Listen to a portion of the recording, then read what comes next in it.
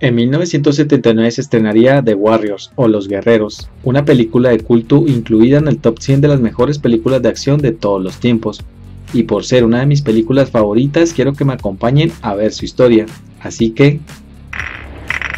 Guerreros, vengan a jugar. Un futuro no muy lejano, la ciudad de Nueva York se encuentra llena de pandillas que controlan diferentes territorios. Un día, el líder de los Reef, la pandilla más grande y poderosa de Nueva York, convoca a una reunión en el Bronx a las pandillas más importantes de la ciudad. En la reunión habla con las pandillas para iniciar una tregua entre ellas y comenta que contando entre todas 100.000 pandilleros frente a 60.000 miembros de la policía podrían llegar a apoderarse de la ciudad.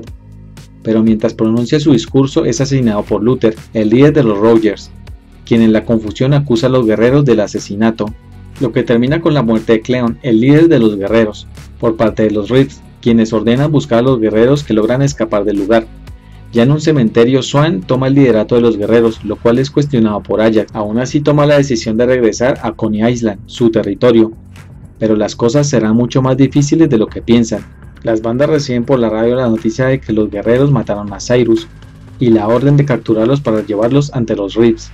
En el camino se topan con varias pandillas que están dispuestas a acabar con ellos. Primero serían los toros locos, que los detectan mientras intentan atropellarlos en un autobús, pero escapan y suben al tren elevado, aprovechando un protocolo no declarado entre las pandillas que les prohíbe luchar entre sí en el metro. En el viaje en tren es detenido por un incidente en un edificio junto a las vías, dejando varados a los guerreros en el Bronx.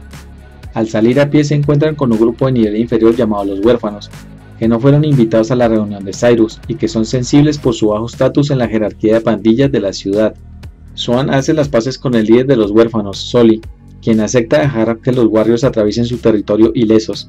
Sin embargo, una joven llamada Mercy se burla de Soli, llamándolo gallina, e insta a una confrontación. Así que el líder de los huérfanos exige a los guerreros quitarse sus chalecos para dejarlos pasar, a los que los guerreros se niegan e inicia su confrontación, la que termina cuando los guerreros hacen estallar un auto y escapan al metro seguidos por Mercy.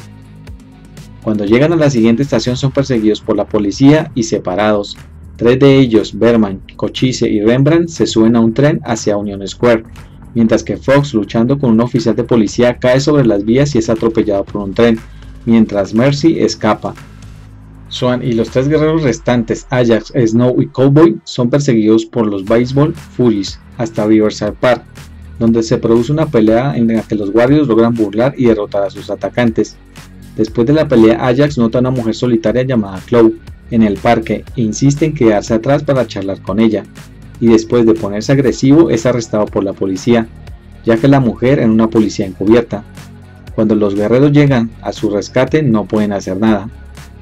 Al llegar a Union Square, Bermin, Cochise y Rembrandt son seducidos por una pandilla de mujeres llamadas Lysis y son invitados a su escondite, y aunque todo parece ir muy bien, resultan emboscados por las mujeres y apenas pueden escapar.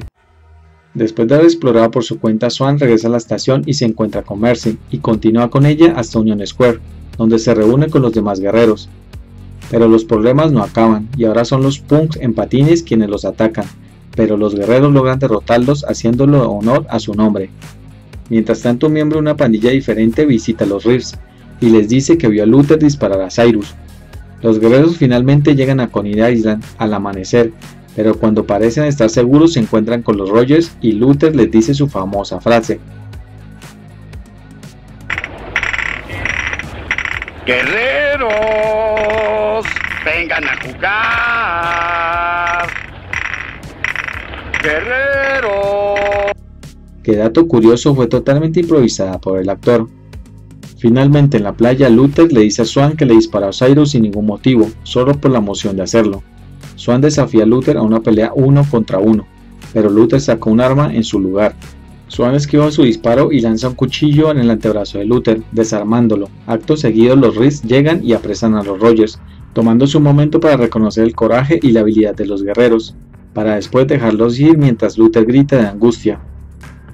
La DJ de la radio anuncia que la gran alerta ha sido cancelada y saluda a los guerreros con una canción, mientras estos caminan por la playa finalizando la película. Como datos curiosos, toda la película se rodó en las calles de Nueva York, con algunas escenas en interiores realizadas en un estudio. En la reunión de las pandillas se usaron miembros de pandillas reales. El fin de semana siguiente al estreno de la película se relacionó con brotes esporádicos de vandalismo y violencia. Debido a esto, 200 teatros en todo el país agregaron personal de seguridad, debido a preocupaciones de seguridad.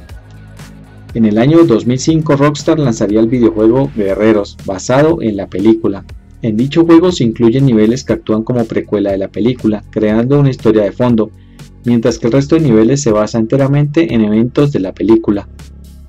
En los años 2000 se rumoreaba que sería un remake de la película, el cual tendría lugar en Nueva York actual. Sin embargo, nunca se concretó.